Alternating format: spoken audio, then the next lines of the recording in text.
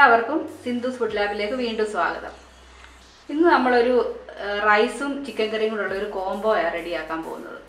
ഇത് കാണാൻ മാത്രമല്ല കഴിക്കാനും വളരെ ടേസ്റ്റ് ഉള്ള ഒരു റൈസും ചിക്കൻ കറിയുമാണ്. ഇനി നമുക്കിത് എങ്ങനെ ഉണ്ടാക്കുന്നതെന്ന് നോക്കാം.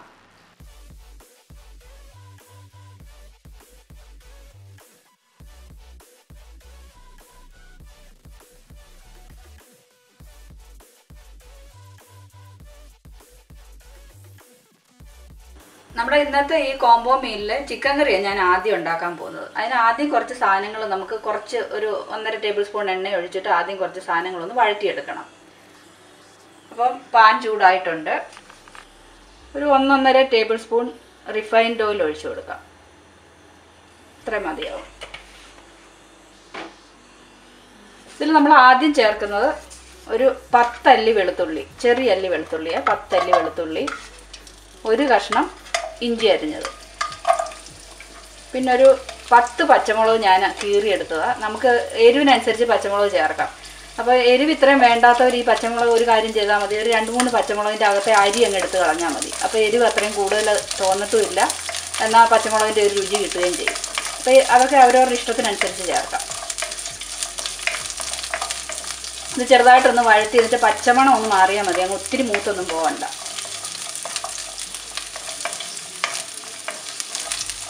അപ്പോൾ ഇതൊന്ന് വാടി വന്നിട്ടുണ്ട്. നമുക്ക് ഇതിലേക്ക് ഒരു ഇത് ഞാനൊരു രണ്ട് ഉള്ളി രണ്ട് സവാള രണ്ട് വലിയ സവാളയാണ് സ്ലൈസ് ചെയ്തതുകൂടെ ചേർത്ത് കൊടുക്കുക ഇതിന്റെ കളർ ഒന്ന് മാറണ്ട. ഒന്ന് ട്രാൻസ്പെറന്റ് ആയി കിട്ടിയാൽ മതി. ഇതിലേക്ക് നമുക്കൊരു വളരെ കുറച്ച് ഉപ്പ് ചേർത്ത് കൊടുക്കാം. കുറച്ച് ഉപ്പ് മതി. ഒന്ന് വാടി കിട്ടാൻ വേണ്ടിയിട്ട്.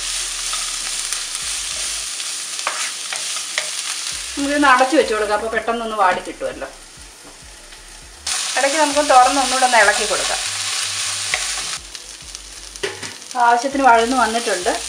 ഇനി നമുക്കിതിലേക്ക് കുറച്ച് മല്ലിയില ഒന്ന് ചേർത്ത് കൊടുക്കാം. മല്ലിയില കയ്യിലില്ലാത്തവർ ചേർക്കണമെന്ന് നിർബന്ധമൊന്നുമില്ല കേട്ടോ. മല്ലിയില ഒരു നിർബന്ധവും ഇല്ല ഞാൻ ഇച്ചിരി മല്ലിയില ചേർക്കുന്നെന്നുള്ളതേ ഉള്ളൂ. മല്ലിയില ഇല്ലെങ്കിലും ഒരു കുഴപ്പവും ഇത്രയും മല്ലിയിലയും കൂടെ ചേർത്ത് കൊടുക്കുക. എന്നിട്ട് ഒന്നുകൂടെ ഒന്ന് വഴറ്റാം. ഇത്രയും വാടിയത് മതി. നമുക്കിനി ഇതൊന്ന് മാറ്റി വെക്കാം. തണുത്ത് കഴിയുമ്പോൾ നമുക്കിത് മിക്സിക്കകത്ത് അരച്ചെടുക്കണം. അടുപ്പിൽ നിന്ന് മാറ്റുമായത് പാൻ ഞാൻ അടുപ്പിൽ നിന്ന് മാറ്റി വെച്ചിട്ടുണ്ട്. ഇനി ഇത് ഒന്ന് തണുക്കുന്ന വരെ നമുക്കൊന്ന് വെയിറ്റ് ചെയ്യാം. നമ്മൾ നേരത്തെ വഴറ്റി വെച്ച സാധനങ്ങളൊക്കെ നല്ലതായിട്ട് തണുത്ത് വന്നിട്ടുണ്ട്. നമുക്ക് ഇനി ഇതൊന്ന് മിക്സിക്കകത്തൊന്ന് നന്നായിട്ടൊന്ന് അരച്ചെടുക്കാം.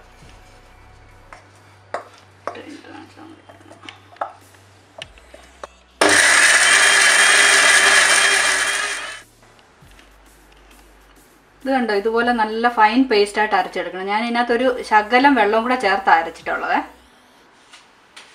ഇതിന് വേണ്ടിയിട്ട് ഞാനൊരു ഇരുപത് ബദാം തലേന്ന് തന്നെ വെള്ളത്തിൽ കുതിർത്ത് വെച്ചിട്ട് എടുത്തതാണ് തൊലിയൊക്കെ കളഞ്ഞിട്ട് എടുത്തതാണ് നമ്മൾ തലേന്ന് വെള്ളത്തിലിടാൻ മറന്നു പോയെങ്കിൽ ഒരു മൂന്നാൽ മണിക്കൂർ മുമ്പേ കുറച്ച് ചൂടുവെള്ളത്തിലിട്ട് വെച്ചാലും മതി. അപ്പോഴും നമുക്ക് ഇതുപോലെ തൊലിയൊക്കെ കളഞ്ഞ് കുതിർന്ന് കിട്ടും. ഇനി ഇത് ഞാൻ ഒന്ന് പേസ്റ്റ് ആക്കി എടുക്കണം. കുറച്ച് വെള്ളം കൂടെ ചേർത്തിട്ട് നമുക്ക് നന്നായിട്ടൊന്ന് അരച്ചെടുക്കാം. ഇതൊന്ന് ക്രഷായിട്ട് വന്നിട്ടുണ്ട്. നമുക്കിനി കുറച്ച് വെള്ളവും കൂടെ ചേർത്ത് അരച്ചെടുക്കാം.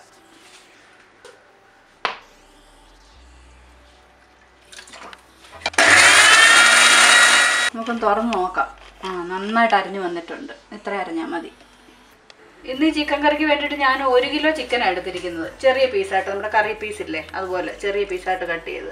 അതുപോലെ നമ്മൾ നോൺ വെജ് എന്ത് സാധനം എടുക്കുമ്പോഴും നമ്മൾ കഴുകുന്ന കഴുകുന്ന വെള്ളത്തിൽ ഒരു വിനാഗിരി ഉപ്പും കൂടെ ഇട്ട് വെച്ചിട്ട് ഒരു അഞ്ച് മിനിറ്റ് നേരം അതിലൊന്ന് സോക്ക് ചെയ്ത് വെക്കണം. എന്നിട്ട് രണ്ട് മൂന്ന് പ്രാവശ്യം നന്നായിട്ട് കഴുകിയെടുക്കണം. അപ്പോൾ എല്ലാം നല്ല ക്ലീനായിട്ട് കിട്ടും. ആ ഒരു ഉളുമ്പ് രുചിയും വരത്തില്ല. ഇനി നമുക്ക് കറി ഉണ്ടാക്കി തുടങ്ങാം. എല്ലാം റെഡിയാക്കി വെച്ചിട്ടുണ്ട്. നമ്മുടെ കറിക്കുള്ള ഗ്രേവിക്കുള്ള പേസ്റ്റ് അരച്ച് വെച്ചിട്ടുണ്ട്. നമ്മുടെ ബദാം അരച്ച് വെച്ചിട്ടുണ്ട്. ചിക്കനും റെഡിയായിട്ട് ഇരിപ്പുണ്ട്. ഇനി നമുക്ക് കറി ഉണ്ടാക്കാം. പാൻ ചൂടായിട്ട് വന്നിട്ടുണ്ട്. ഇതിലോട്ട് ഞാനൊരു ഒരു ടേബിൾ സ്പൂൺ നെയ്യ് ഒഴിച്ചു കൊടുക്കുക നെയ്യിൽ ഈ കറി ഉണ്ടാക്കുന്നതാണ് ഏറ്റവും രുചിയായിട്ടുള്ളത്. നെയ്യ് ഇപ്പോൾ ഹെൽത്ത് കോൺഷ്യസ് ആയിട്ടൊക്കെ ഉള്ളവർ നെയ്യ് ഉപയോഗിക്കേണ്ട. അതിന് പകരം റിഫൈൻഡ് ഓയിൽ ഉപയോഗിച്ചാൽ മതി. ഒരു ടേബിൾ സ്പൂൺ മാത്രമേ ഒഴിക്കുന്നുള്ളൂ. ഇനി ഇതിലേക്ക് ഒരു കഷ്ണം പട്ട ഒരു അഞ്ച് ഏലക്ക നാല് ഗ്രാമ്പു. ഇത്രയും കൂടി ഇട്ടൊന്ന് മൂപ്പിച്ചെടുക്കണം. പട്ട ഏലക്കയും ഗ്രാമ്പും ഒക്കെ മൂത്ത് വന്നിട്ടുണ്ട്. നമുക്ക് ഇതിലോട്ട് ഈ ചിക്കന്റെ പീസസ് ഇട്ട് കൊടുക്കാം. ഈ ചിക്കന്റെ പീസസ് ഇതിനകത്ത് കിടന്ന് നന്നായിട്ട് നമ്മളൊന്ന് വഴറ്റി ഒരുവിധം ഒന്ന് മൂപ്പിച്ചെടുക്കണം. ഇതിനകത്ത് കിടന്നായിരിക്കണം ഇതൊരു നയന്റി പെർസെന്റും വേകുന്നത്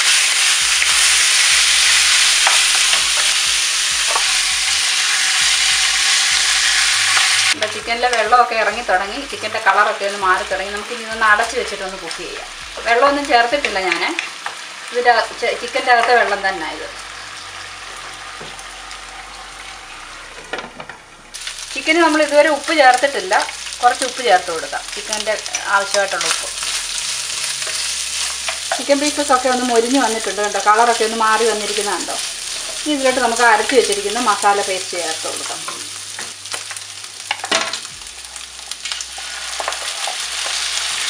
പേസ്റ്റ് ചേർത്തൊന്ന് വഴറ്റണം ചെറുതായിട്ട്.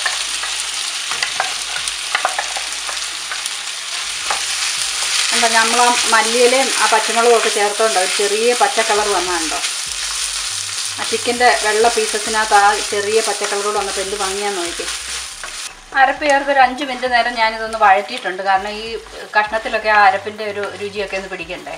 ഇനി നമ്മൾ ചേർത്ത് കൊടുക്കാൻ പോകുന്ന ഒരു കപ്പ് തൈര്. ഇത് അധികം പുളിയില്ലാത്ത തൈരാണ് ഈ തൈര് ചേർക്കുന്നത് ഈ കറിക്ക് ഒരു ചെറിയ പുളി കിട്ടാനും പിന്നെ നമ്മുടെ ചിക്കൻ കഷ്ണങ്ങളൊക്കെ ഒന്ന് സോഫ്റ്റായിട്ട് കിട്ടാനും വേണ്ടിയിട്ടാണ് ഈ തൈര് ചേർക്കുന്നത്. തൈരൂടെ ചേർത്ത് നന്നായിട്ടൊന്ന് ഇളക്കി കൊടുക്കാം. നമ്മൾ ഉപ്പൊക്കെ അധികം നോക്കണം. ഉപ്പ് പോരെങ്കിൽ കുറച്ച് ഉപ്പ് കൂടെ ചേർത്ത് കൊടുക്കണം കറിക്ക്. ഇത് നമുക്ക് കുറച്ച് നേരം ഒന്ന് അടച്ചു വെക്കാം.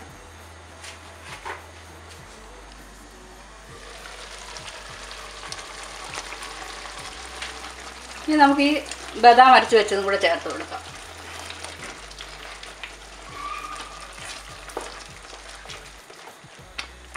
ഇപ്പം ഗ്രേവി നമുക്ക് എന്തുമാത്രം വേണമെന്ന് വെച്ചാൽ തിക്ക് ഗ്രേവി എപ്പോഴും നല്ലത് ഇതിനകത്ത്. ഇച്ചിരി വെള്ളം കൂടെ ഒഴിച്ചു കൊടുക്കാം.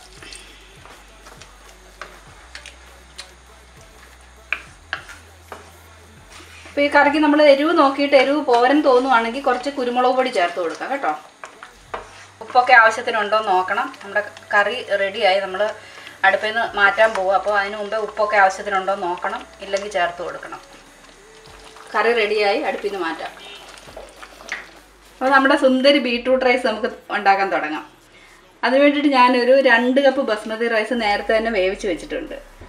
അപ്പോൾ ഈ ഇത് ബസ്മതി റൈസ് വേവിക്കുന്നതിനെ കുറിച്ച് ഞാനിപ്പം ഡീറ്റെയിൽഡ് ആയിട്ടൊന്നും പറയുന്നില്ല. എന്റെ ഒരു മിന്റ് റൈസിന്റെ റെസിപ്പി ഞാൻ ചാനലിൽ ഇട്ടിട്ടുണ്ട്.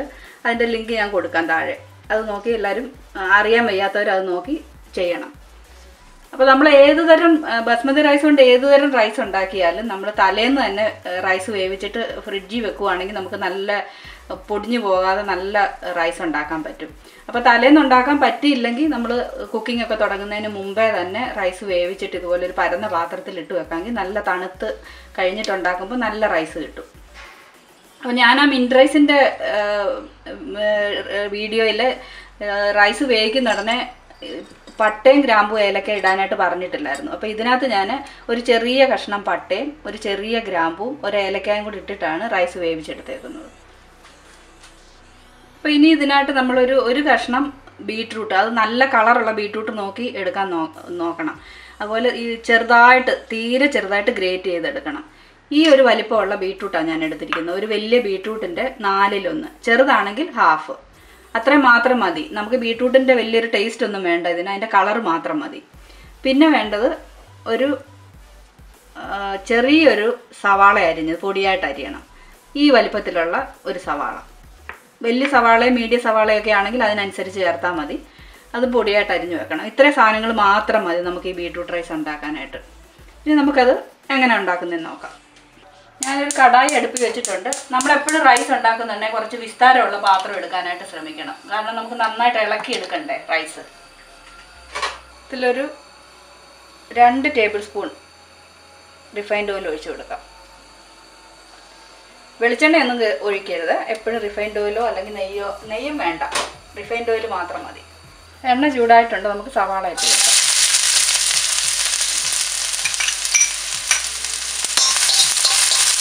സവാള ഒത്തിരി ബ്രൗൺ ഒന്നും ആവണ്ട. ചെറുതായിട്ടൊന്ന് വാടി കിട്ടിയാൽ മതി.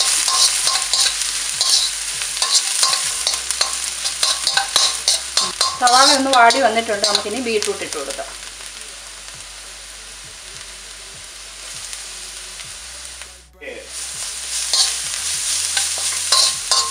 ബീട്രൂട്ട് ഇതുപോലെ തീരെ പൊടിയായിട്ട് ഗ്രേറ്റ് ചെയ്തെടുക്കാൻ നോക്കണേ. കഷ്ണമായിട്ട് കിടക്കരുത് റൈസിന്റെ അകത്ത്.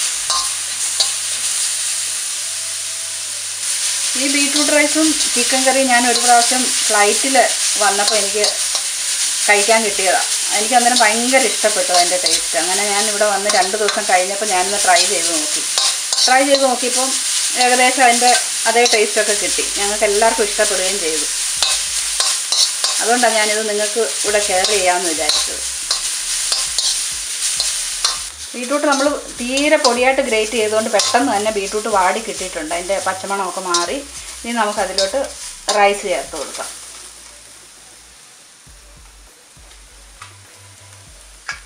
റൈസ് കുറേശ്ശെ കുറേശ്ശെ ചേർത്ത് ഇളക്കി കൊടുക്കണം. അപ്പോഴായിട്ട് നല്ലതായിട്ട് മിക്സ് ചെയ്യാനായിട്ട്. കണ്ടോ? വലിയ പാത്രം എടുക്കണമെന്ന് ഞാൻ പറഞ്ഞതിന്റെ കാരണം മനസ്സിലായോ?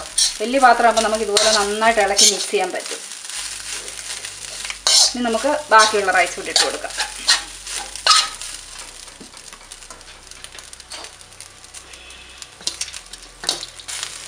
നമുക്ക് ഈ സ്റ്റേജിൽ ഉപ്പൊക്കെ ഉണ്ടോ എന്ന് നോക്കാം. ഉപ്പ് പോരെങ്കിൽ ഉപ്പ് ചേർത്ത് കൊടുക്കാം.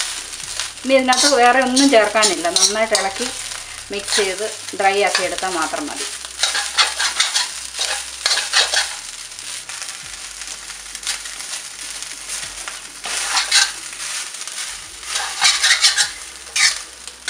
നമ്മുടെ very colourful beetroot rice ready ആയിട്ടുണ്ട്. നമുക്ക് ഇത് സ്റ്റവിൽ നിന്ന് മാറ്റാം.